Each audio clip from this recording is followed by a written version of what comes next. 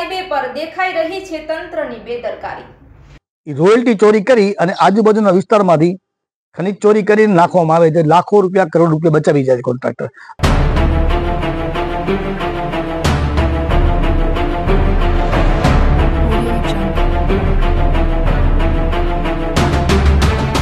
National highway authority ધ્યાન રાખવું જોઈએ કે જે ડાયવર્ઝન હોવું જોઈએ, ડાયવર્ઝન નથી.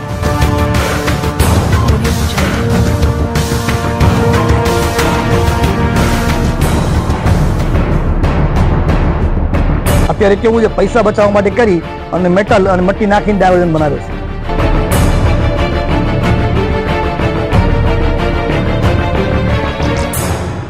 શેખપીર અને પથ્થરની વચ્ચે જે નેશનલ હાઈવે બની રહેલ છે, તેમાં પોલીસની બેદરકારી જોવા મળે છે. તેથી નેશનલ હાઈવે ઓથોરિટીને ધ્યાન આપવા જેવી બાબત છે. હાઈવે પર ડાયવર્ઝન હોવું જોઈએ તે જોવા મળતું નથી અને રોડ ઉપર બેરિકેટ જોવા મળતા નથી તે રાખવા જોઈએ. અને રોડ ઉપર રેડિયમ પણ હોવા જોઈએ જેથી રાતના અંધારામાં વાહન ચાલકોને રેડિયમની લાઇટથી ખબર પડી શકે કે દિવાલ છે કે રસ્તો.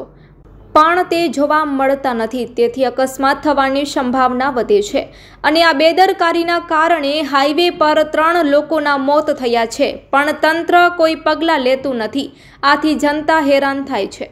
આથી ભુજના કલેક્ટરને આ મુદ્દે ધ્યાન આપવું જોઈએ અને જેટલા પણ રોડ છે એ ડામરના હોવા જોઈએ.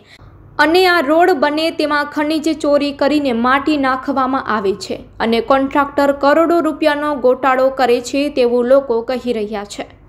ખાસ લોકોની ફરિયાદ એ છે કે શેખપીર શેખપીરથી કરી અને જે પદ્ધર હાઈવે નવું બની રહ્યું છે નેશનલ હાઈવે તો નેશનલ હાઈવે ઓથોરિટી ધ્યાન રાખવું જોઈએ કે જે ડાયવર્ઝન હોવું જોઈએ ડાયવર્ઝન નથી. રોડની સાઈડમાં દિવાલો જેવું બનેલું છે, તો બેરિકેડ રાખવા જોઈએ, ત્યાં રેડિયમ હોવું જોઈએ, જેથી કરીને રાતના લાઇટ પડે તો વચ્ચે દિવાલ છે કે બેરેલ છે કે ખબર પડે કે વચમાં છે. એક્સિડન્ટ ન થાય. જેમ કે એક્સિડન્ટ થાય ત્યારે માણસોના મૃત્યુ થઈ ગયા તો આજે સવારે જ ત્રણના મૃત્યુ થયા છે. આવા હાઈવેના જ્યારે કામ ચાલુ હોય છે ને કેટલા એક્સિડન્ટ થતા હોય છે માણસોના મૃત્યુ પણ થઈ જાય છે, હાથ પગ ભાંગી જતા હોય છે. પણ આ કોઈ પણ જાતની ધ્યાન રાખ્યા વગર તંત્ર કોઈ પગલાં લેતું નથી કોન્ટ્રાક્ટર ઉપર. એન્જિનિયરો છે, પોતાની ટકાવારી લે છે કોન્ટ્રાક્ટર રૂપિયા કમાય છે અને લોકો હેરાન થાય છે.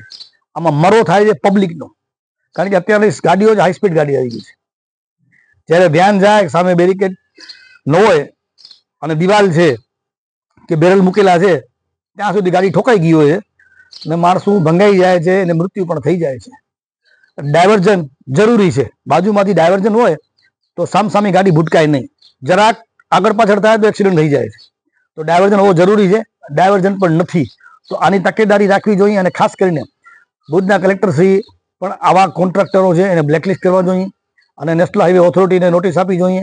કારણ કે જેટલા ડાયવર્ઝન છે એ પાક એ ડામર રોડના હોવા જોઈએ, નહીં કે મેટલના અત્યારે કેવું છે, પૈસા બચાવવા માટે કરી અને મેટલ અને મટ્ટી નાખીને ડાયવર્ઝન બનાવે છે.